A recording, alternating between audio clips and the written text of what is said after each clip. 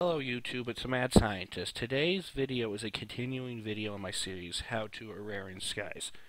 It's a map made by Jadedcat. If you want this map, it is on the Feed the Beast launcher. Today, I'm going to show you how to make lava. Let's get started. There's three different tiers for lava production. There's a beginners, middle, and end. You can't jump to the end right away because you need each tier to get up there. Basically, what you need to start for the first tier is a torch. That's the heat source to make the lava, and you put a crucible on top. It takes four pieces of cobble to get one bucket of lava. That can take up to a minute, I believe. The second tier is this lava as the heat source.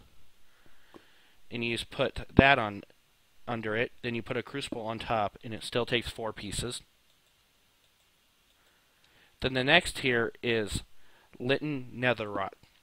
You light that on fire, and this is the fastest here. And it still takes four pieces. It can take up to a minute to 30 seconds, I believe. I'll be back when the lava is made. And we are back.